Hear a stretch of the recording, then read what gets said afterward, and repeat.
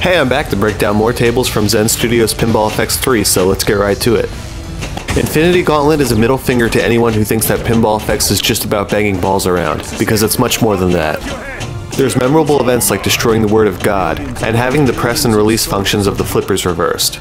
I'm glad that Zen Studios didn't go for true simulation because it allows them to program a lot of unique and trippy modes, like the table turning upside down. Try doing that in real life.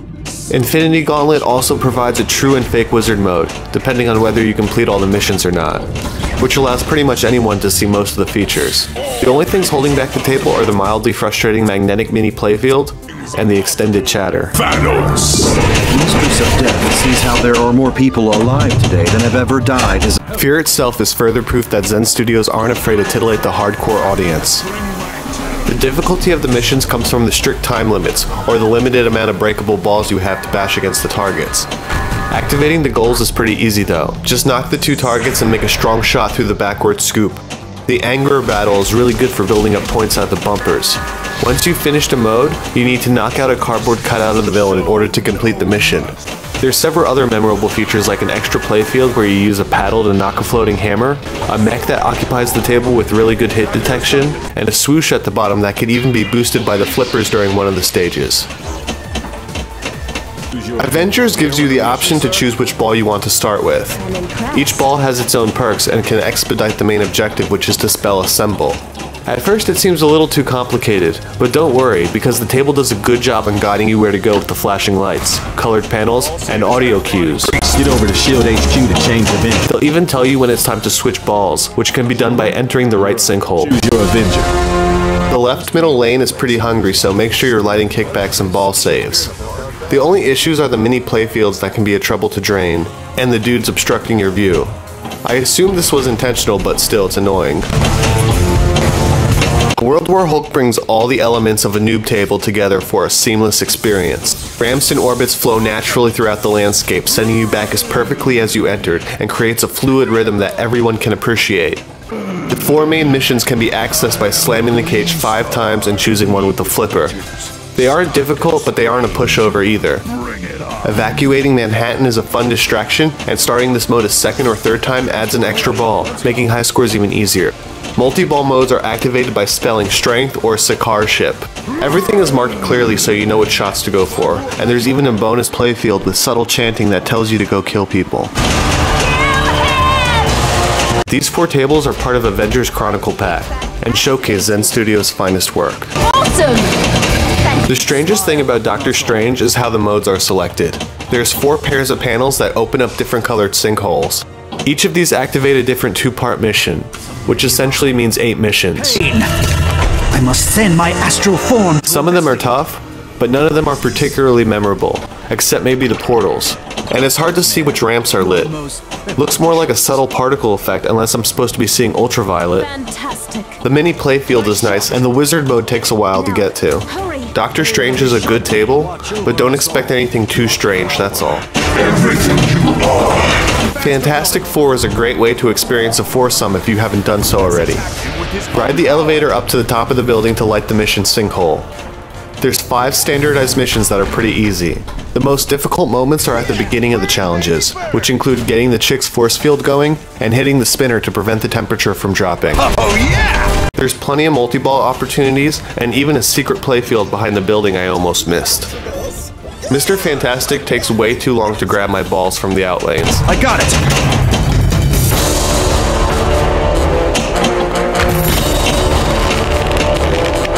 and the rinse and repeat rhythm can get a bit repetitive. Let's attack him with his own power! I remember Captain America mostly for the mission where ooze pours out onto the table and slows down your balls. That and the embarrassing bonus game where you have to block the incoming micro balls with your little trash can lid. When you launch the ball, make sure you get the skill shot and then hit a ramp so you can free Bucky. If not, you might forget to complete some of the side missions and be denied the wizard mode after completing all the main goals. The coolest thing about Captain America is that his table's pretty easy. Civil War is a bit confusing at first, so pay attention.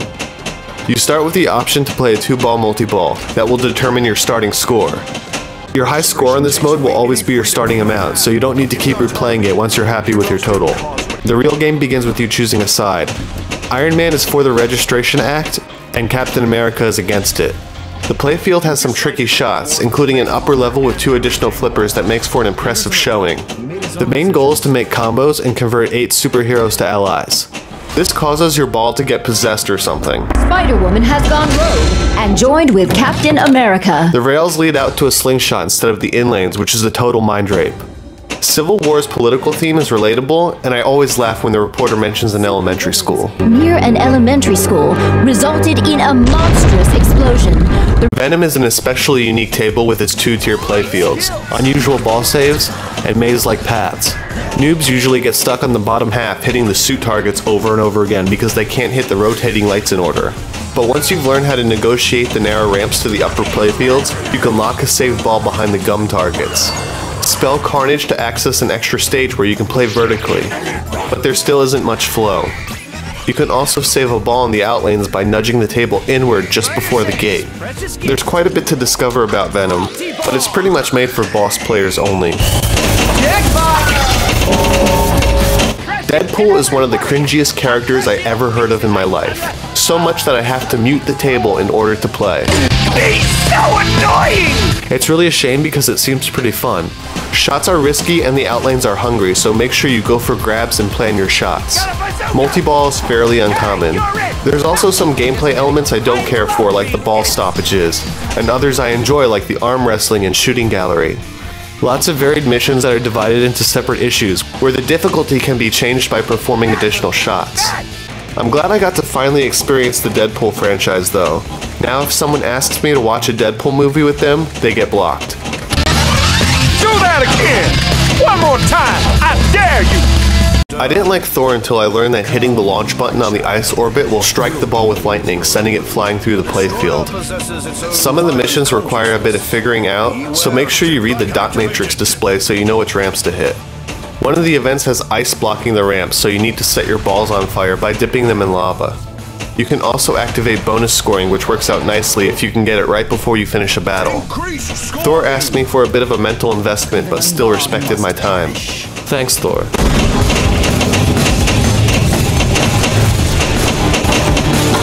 Ghost Rider is an incredibly unique table that gets everything right.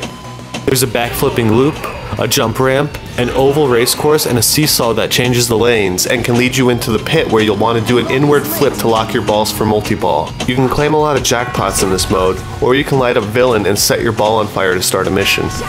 There's four missions that you need to activate, but not necessarily complete if you want to see the final boss. Some of these events cause your ball and flipper to behave oddly. There's also a special challenge you can find in the villain sinkhole where the dude throws the ball straight down at you and makes you bet whether you want to use a ball save or not. Yeah, it's a bet, but don't go censoring the table over it though. And you even get to shoot a gun for going down the wrong lane. Oh, and don't forget the video mode. X-Men is another tough table thanks to Magneto grabbing your balls all the time. Completing all the challenges and spelling X-Men requires skill and dedication from the most serious players. The ramp on the top right requires a deliberate shot and will be blocked by the right flipper to punish any button mashers out there. The mini orbits are fast and require a quick reaction to nail the reflex shot. There's lots of two ball where you need to alternate between making ramps and hitting the middle targets while keeping both balls in play. There's many objectives to complete, and objectives within those objectives, so X-Men should keep you occupied for a while. Moon Knight would have been a rather unremarkable table if it weren't for its unique art style. The monochromatic gray or silver really comes down to taste, but certainly makes the balls harder to see. I also don't appreciate the glowy multi-balls, probably because it makes things blurrier. Some extra features include a broken shooting gallery and an empty bonus playfield. By the way, I wish Zen would integrate these extra playfields more elegantly, like put them in the backboard or coming out of the ground, instead of just warping to another screen. The rotating diorama in the corner is pretty cool, and the overall flow is good, but expect some long drawn out play sessions as it's really easy to keep the ball up if you like that sort of thing. It's official. You've lost the election. Castle Storm has an open and inviting playfield, with its ramps and orbits specially placed so that you have to get used to dead flipping, or flailing around like a spaz or whatever suits your style. Spell out words by hitting the ramps to enter the mission sinkhole to begin a mode. My favorite is Skyfall, where you have the firewalls blocking the paths, so you need to think a bit about how to get your ball to the top left flipper. There's also a nice variety of side missions to keep things interesting, like the Ballista and Shade Multi-Ball. My biggest complaint is that the mini playfields come up too often, which leads to a lot of repeated and obnoxious flipping. It's also a bit tricky to get a good read on the ass when launching a ball. For the kingdom! Wild West Rampage is a table that requires controlled shots and less than frequent multi-balls, unless you can reliably hit the captive ball four times or let up Rampage on the middle ramp.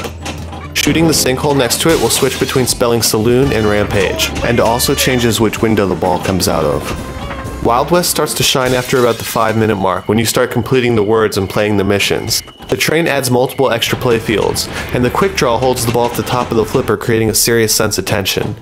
This is one of those games I found more fun after reading the instructions. Fallout is another table that takes a while to get going, and comes alive when the lights go out and the multi-balls start rolling. The playfield is less busy, but the subtleties are there. The top flipper is pointed directly down and allows the ball to stand in place above it.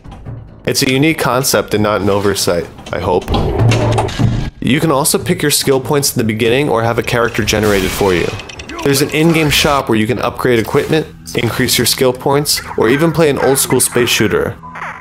If you don't want to be bothered reading about all the minutiae of what the points do, don't worry. Just follow the blinking lights and you'll be rewarded kindly but the excitement can certainly wind down as one of the characters readily notes. So boring! Doom is a distinctive table in both aesthetics and gameplay. You start by choosing a difficulty. Picking Nightmare will prevent you from enabling kickbacks, ball saves, and extra balls, but awards 50% more points. You can shoot the captive balls to unlock more guns, and hold the launch button to open up the weapons wheel. The flipper buttons are also used to rotate the bumpers, making the playfield even more kinetically engaging. The breakout style minigame is whatever, and I still don't like the enclosed whirlwind, but neither of them annoyed me enough to switch tables after several hours of play. There's a lot to do here, but it never feels overwhelming or invasive. Freedom! Skyrim could have been one of the best digital pinball tables, but then again, GameTestPlay.com could have been one of the best websites in the gaming industry. The main problem with Skyrim is the constant popping up of, is the constant popping up of, is the constant text pop is the, this can cause you to hit a flipper and select an undesirable consequence, like leaving a battle with the dragon. They're also kinda ugly and hard to read. The RPG elements are overblown and it can be a grind. I see what they were going for because this is Skyrim, but it's still never a table I'd want to play completely sober either. I like the musical ambience, and that can be said about all the Bethesda tables. But I really wish they'd quit reminding me of my inadequate Magicka. Magicka! don't have enough magicka. Attack from Mars is an ultra fast and reactive table that really lets you show off once you get your footing. The shots are nice and tend to throw your balls back quickly. You'll want to go for the center target if you're trying to take down the saucers and complete the main objective. But there's plenty of high score multi-ball opportunities that fly around the table and create chaos. Keep in mind there are 5 additional goals to conquering Mars if you want to own the universe. Earn a super jackpot, activate super jets, complete Martian multi-ball, finish total annihilation, and shoot a 5-way combo. I suggest focusing on getting a super jackpot from the 3-ball multi-ball while the other missions fall into place. This table might actually be faster on Pinball FX 3 than it is in real life, and I think that's a good thing. I really thought Black Rose was going to be a fun and unique experience once I first saw it. If you go about playing this table like you normally would most pinball machines, you're not going to last long. The big and empty playfield makes for some fast falls, and the outlanes are hungry. Once you realize that you should cradle the ball in the right flipper and go for broadside, you can master Black Rose fairly quickly. Even when it tells you to shoot the ramps or do something else, keep aiming for broadside. It's the safest shot on the table, and you really want to reap the rewards of double points or whatever event it decides to throw at you. Not to mention it's really easy to lose your ball coming out of the ramps or orbits. Remember those midsummer parties back in high school where someone slipped a roofie in your drink and you woke up to the sound of a pinball machine a block away at a local pizza place? Well, that machine was Party Zone. It's a fun little game that's definitely worth a quick look, but even if you're a retro head, the experience can be a bit limited. Which isn't a problem if you want to look back with a fuzzy lens of nostalgia and remember it as the good times you had before realizing that everyone lied to you about college and told you to piss away your future down this sinkhole. I wish I had more to say about Party Zone. Oh yeah, I got a score of 333 million and reached a rank of 41 on my first try. The Getaway is a flashy table that's a sequel to designer Steve Ritchie's High Speed, which he based on a police chase in his Porsche 928. The most notable feature of this table is the supercharger that automatically spins your balls around really fast. It's pretty dazzling thanks to Zen Studio special effects. Some of the Williams tables have extra animations that are a distraction and are best turned off if you're chasing a high score. But in the getaway, the heat and the flame trails actually make the balls easier to see. Extra balls are common, and reaching Redline Mania isn't difficult, but the overall experience is pretty clutch. Don't forget to use the launch button to shift gears. The object of Junkyard is to collect different pieces of trash that combine together to start missions in the sewer sinkhole. You don't need to complete each of the four adventures to take on Bob in outer space, which is the wizard mode, but you'll collect more fireworks if you do, which boosts your score. Once you complete wizard mode, you don't need to recollect garbage, simply activate and play through each mission again. Junkyard is full of quirky toys and events like the toilet, a jalopy race, and a video mode where you throw toast at a dog and a dangling testicle you can knock around and try to bypass for some good old multi-ball. Medieval Madness is an all-time classic that continues to get better with time. It's easy to figure out, the shots feel very physical and are satisfying to make, and it has a lot of charm. Smashing the ball at the castle really creates a sense that a peasant revolution is coming. Multi-balls are there for activating if you want to smash the sidewall, and the trolls are a nice mix-up that keeps you on your feet ready to nudge the table if the balls come straight down. I have a lot of hours recorded with Medieval Madness, mostly because I played it on the Pinball Arcade. The Pinball FX3 version essentially offers three difficulty settings for the Williams tables. So if you want more of a challenge, don't forget to play Classic Mode and try the tournament settings. That's all for now. If you want to see more pinball videos on GameTestPlay.com, don't forget to like and subscribe and all that great stuff. But most importantly, share this video with your ugly friends on one of those stupid social networks.